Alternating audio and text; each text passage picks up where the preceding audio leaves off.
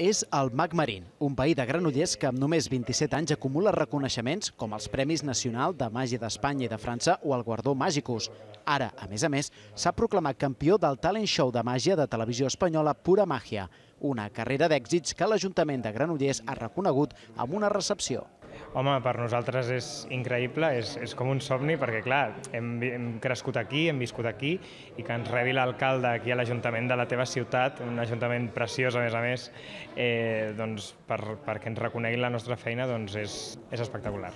El mag Marín va descobrir la màgia als 9 anys, precisament amb un programa de televisió que retransmetia una actuació del mag Jorge Blas.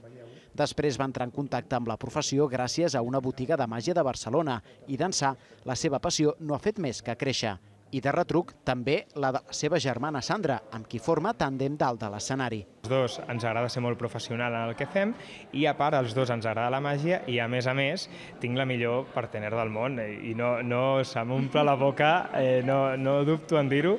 durant la recepció, el mag Marín s'ha mostrat confiat que algun dia podrà mostrar les seves habilitats al teatre de la seva ciutat.